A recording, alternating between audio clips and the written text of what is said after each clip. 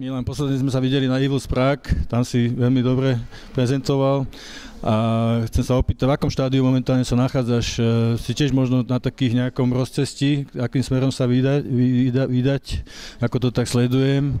E, keby si pre divákov Islaps e, mohol toto objasniť, jasné, že si vo forme, akej si, len čo, ako to ty vnímaš?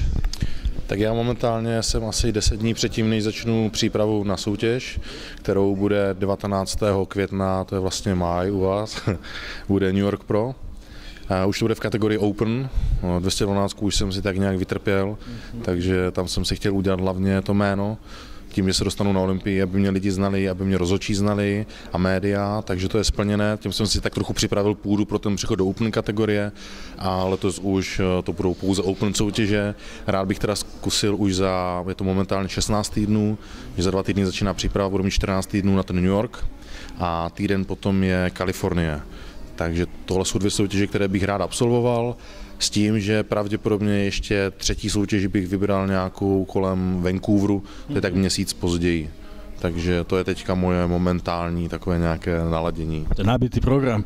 Keď jsme sledovali 212, uh, mňa osobne zaujalo, že reprezentuješ tu tú estetickú tvár tej kulturistiky dnešnej, že bez tých negatívnych, vypuklých e, brúh a tak ďalej. E, je jasné, že ešte tam je potenciál nejaký nabrať, do, do tej symetrie sa dá ešte nabrať, čo si aj ty cítil, si bol na rozhraní, tak ako si sám hovorí, že si musel trpeť, aby si to naplnil. E, máš aj od odborníkov takéto nejaké, nejaké spätné väzby, že by to mohlo dopadnúť aspoň tak dobre, alebo ešte lepšie ako v minulé sezóne?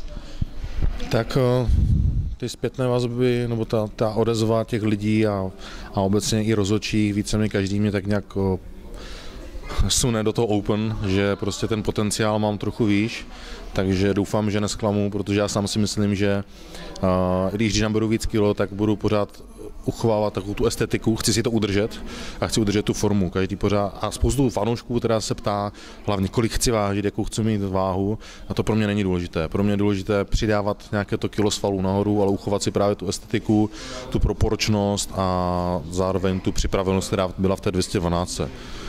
Takže já si myslím, že ta open kategorie je pro mě ideální pro to, abych se rozvinul na maximum, ale nechci spadnout do toho, abych byl co největší a přišel o to, co, co mě dělá výjimečným. Takých je dosť, takých vidíme dosť celého sveta. Je vzácne, že vlastne jedna vec je Európan, tvoj plán je vlastne v Amerike, čo je dosť ešte o to ťažšie, samozrejme, ako vieme sa presadiť ako Európa na to, že Čech, tu bereme také stále naše, Čecho, Československo, akože si náš, hej, a verím, že aj naši sú vaši.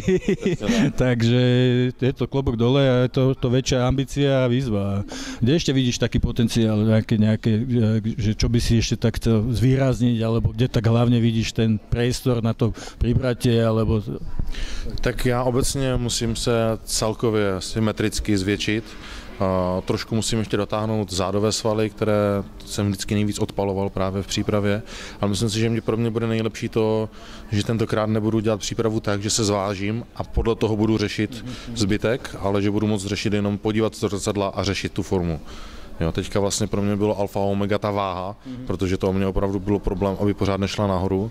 A až byla váha, teprve potom se řešila forma. Teďka budeme řešit jenom formu, jenom ať to prostě vypadá dobře. na maximum pozřeš zrkadlo, je to tam, můžeme letět, jdeme do toho, hej? Přesně tak, přesně tak, takže mi odbíde takový ten zbytečný stres a, a myslím si, že, že pro to tělo to bude určitě lepší. Laty, máš nějaké plány? Víme, že vlastně evropský šampioni majú uh, povedzme v Amerike ten problém, že sa nevedia tak predať, trošku máš nejaké plány, nejaké fotenia, alebo máš nejaké dohodnuté, že trošku sa nejakým spôsobom promotovať, e, dať sa do toho povedomia aj tých rozhodcov, aj, aj týmto smerom ste nejako uvažovali, prípadne aj s tvojim e, realizačným tímom. Vieme, že aj e, Jablo mal tej, tejto, tejto problémy, že nevedel sa tam presadiť až tak medzi tými médiami, dneska sú tie sociálne siete, internet je silný. Uvažujete aj takýmto smerom? Tak môj realizačný tým jsem já, moje žena Honza, Ka- Honza Kavalír, takže za tomu děkuju, protože on právě mě hodně pomáhá na těch sociálních sítích, na diskuzních fórech protlačovat mé jméno.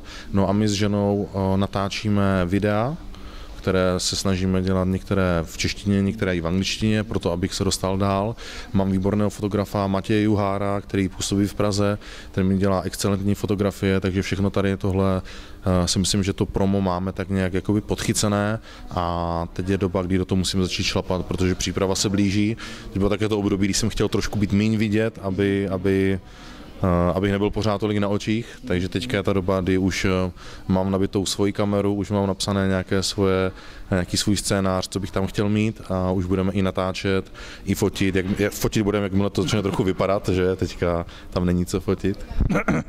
takže eh, tady tohle si myslím, že máme podchycené, ty média mě nějak registrují, zrovna včera vyšlo na Arix Muscle nějaký krátký jakoby zmínka o mně, že se připravují nějaké aktuální fotky, takže média mě registrují a myslím si, že tohle všechno oni budou posouvat dál, ten materiál, co já zveřejním.